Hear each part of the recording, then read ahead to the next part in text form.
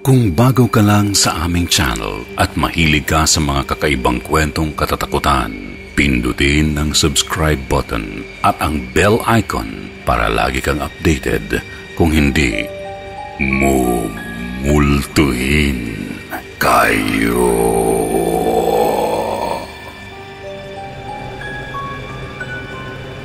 Kwentong Takip Silim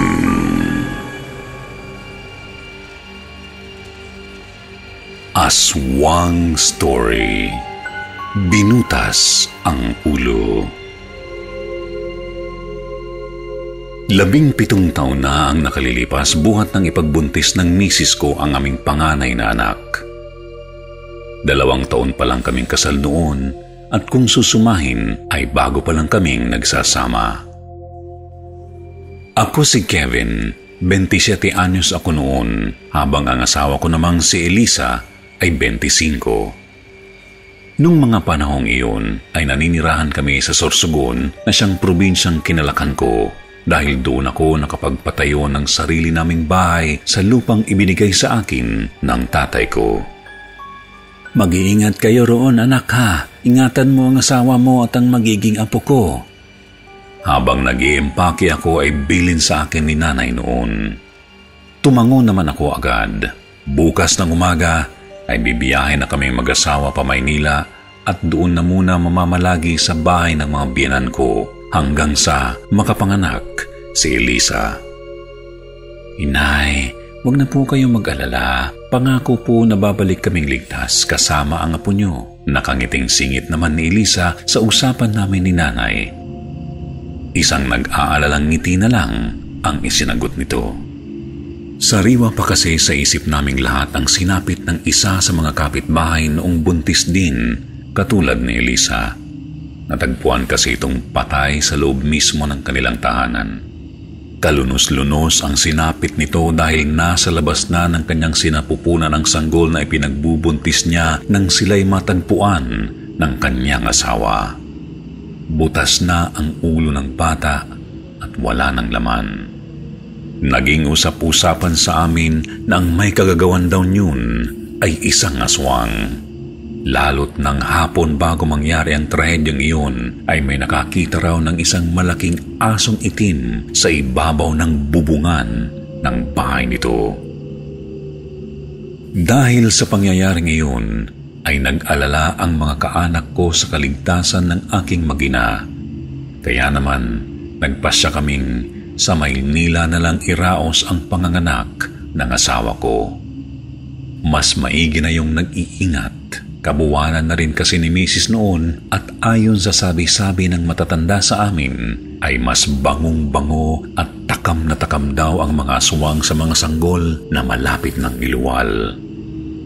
Bago pa lang yata bumubukang liwayway noon, ngunit nasa biyahe na kaming mag-asawa.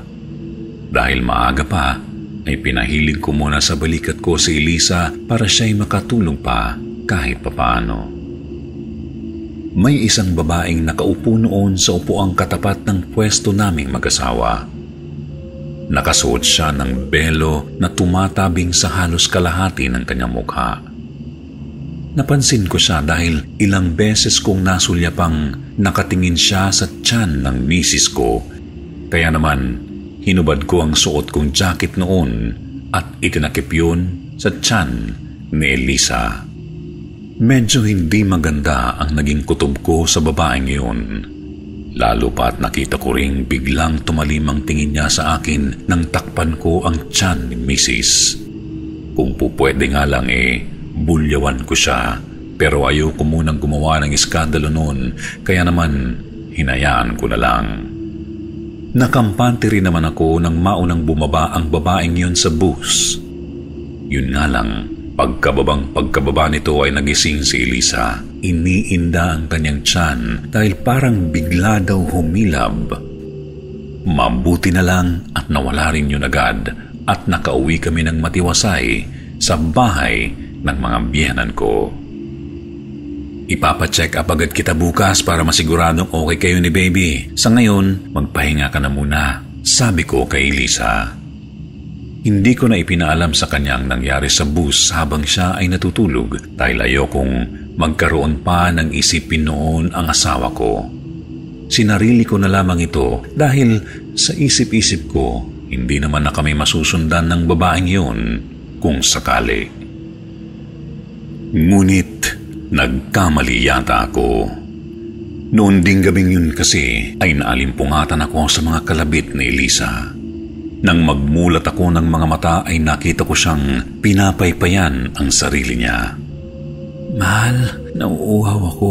Pakikuha mo naman ako ng tubig. Sabi niya sa akin. Bakit hindi ka pa natutulog? Ating gabi na. Saka bakit parang init na init ka? E bukas naman yung ventilador. Nakatodo pa nga oh. Tanong ko naman, pero bumangon rin ako para sundin ng kanyang utos. Ewan ko ba? Banas na banas ako at balisang balisa eh. Sige na mahali, kuha muna ako ng malamig na tubig sa kusina. Nagmamadali namang sabi niya. Kakamot-kamot pa ako sa ulo habang lumalabas noon ng kwarto at nagtutungo sa kusina. Patay na ang lahat ng ilaw sa salas na daraanan muna bago makapunta sa kusina. Ngunit hindi ko na yon pinagkaabalahan pang buksan. Akmang hihikab sana ako noon habang inaabot ko ang handle ng pintuan ng frigider na nasa buka na lang naman ng madilim ding kusina. Nang bigla akong makarinig ng kakaibang tunog mula sa malapit. Tila ba may mabangis na asong umaangil ng pagaralgal sa loob ng kusina. Naririnig ko rin ang tila paghahabol nito ng malalim na paghinga. Bigla akong kinilabutan. Pakiramdam ko ay nanlalaki noon ang ulo ko, lalo na nang makarinig din ako ng kakaibang mga huni sa loob mismo ng kusina. Putang na! Napamura ko. Agad kong kinapa ang switch ng ilaw at pinindot yun. Nanlaki ang mga mata ko nang tumampad sa akin ang hitsura ng isang taong hubot-hubad at may malaking bunganga na nagmamadaling tumalon mula sa nakabukas na bintana ng kusina. Sa takot ko'y ibinato ko rito ang hawak kong baso. Nabasag yon ng tumama sa pader at agad na lumikha ng ingay. Dahil doon, maya-maya lamang ay lumabas na ng kwarto nila ang mga binan ko, pati na rin si Elisa. Takang-taka sila dahil hindi ko na itago ang panginginig ng tuhod ko, kaya wala na akong nagawa kundi ikwento ang nangyari mula pa lamang sa bus. Napangamuyan ang asawa mo, Kevin! Anang binan kong babae. Memoryado na niya ang amoy ng asawa mo kaya siguradong kahit saan kayo magtago ay masusundan niya kayo. Hanggang dito ba naman sa syudad pinipeste tayo ng mga aswang na yan? Nasa ko noon ang noo ko sa pamumroblema. Huwag ka magalala anak. Bukas na bukas sa hihiramin ko ang buntot pagi ni kumpare. Mabisang panlaban yun sa aswang. Ang dapat nating gawin ngayon ay huwag nating alisan ng tingin si Elisa. Magsalitan tayo sa pagbabantay. Sabi naman ng tatay ng asawa ko. Kinabukasan ay ganoon nga ang nangyari. Pinayuhan kami ng nilapitan naming albularyo sa may baklaran na maghagis daw ng asin sa loob at labas ng palibot ng bahay bago pa man magtapit hapon para hindi makalapit ang aswang. Bukod doon ay palagi daw naming tabihan ng matalas na bagay si Elisa at sinunod naming lahat yun na siyang naging dahilan para mahinto ang pang-aaswang sa asawa ko. Hanggang sa mag-labor na nga si Elisa. Maaga pa lang nang humilab ang tiyan ni Elisa at agad ko siyang dinala noon sa ospital. Ngunit umabot na lang ng gabi ay hindi pa rin siya mapanak.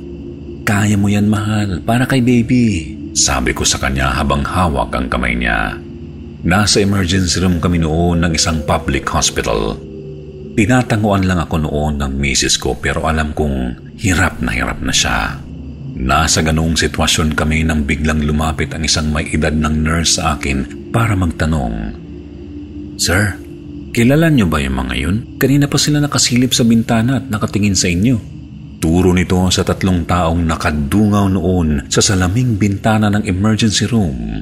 Isang babae at dalawang lalaki.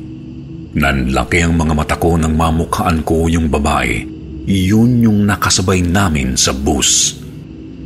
Hindi ho, hindi ko ho silang kilala. Nanginginig na sabi ko noon. Tumango-tango ang kausap ko at pagkatapos noon ay nakita kong lumapit siya sa bintana at sinigawan ang mga nakadungaw. Uy, anong kailangan nyo dito? Wala kang gagawin dito kaya magsilayas kayo. Nagulat ako sa inakto ng nurse. Nakita kong tiningnan siya ng matalim ng tatlo, ngunit agad silang nagtatakbo ng may dukot nito sa kanyang bulsa. Bumalik sa pwesto ko ang naturang nurse at iniabot sa akin ang isang botelya. Holy water yan. Ipahawak mo kay misis. Kang mag-alala. Hindi lang iisang beses nangyari ang ganito rito. Pagtibayan mo ang loob mo't hindi kayo pababayaan ng Diyos. Sabi pa niya sa akin noon bago umalis at puntahan ang iba pang pasyente. Tulala ako noon hanggang sa dumating ang mga biyanan ko. Ikinuwento ko sa kanila ang nangyari at dahil doon ay nagpasya silang magsaboy ng asin sa palibot ng pwesto ng asawa ko. Bantay sarado rin namin noon si Elisa para makasigurado sa kaligtasan niya. Sa awa ng Diyos, ng madaling araw ay nailuwal na rin sa wakas ni Elisa ang aming panganay. Ang buong akala ko ay tapos na noon ang kalbaryo namin, lalo't isang araw pa nga kaming nanatili sa ospital matapos makapanganak ang asawa ko. Ngunit noong pauwi na kami't sakay na kami ng sasakyang inarkila ng biyanan kong lalaki, ganoon na lang ang gulat naming lahat ng ilang malalaking pusa ang biglang nagsitalunan sa bubong ng sinakyan namin at nagngingiyaw habang nasa biyahe kami. Takot na takot noon si Elisa habang pilit ko namang pinalalakas ang loob niya. Ang ginawa ni tatay noon, idinaan niya sa simbahan ng sasakyan.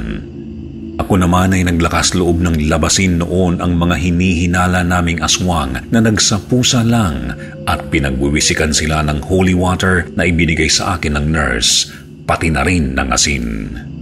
Yung isa sa mga pusa ay nahataw ko pa ng baon naming buntot pagi habang nagsisitakbo na ang mga ito palayo.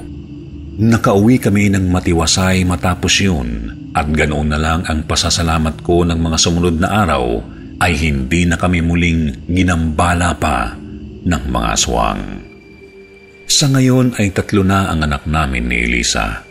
Binata na rin ang aming panganay Ngunit gaano man siguro katagal na panahon ang lumipas, ay hinding-hindi ko malilimutan ang nakakatakot na karanasang iyon sa buhay naming pamilya na siyang lalong nagpatibay sa aking pananampalataya sa Diyos.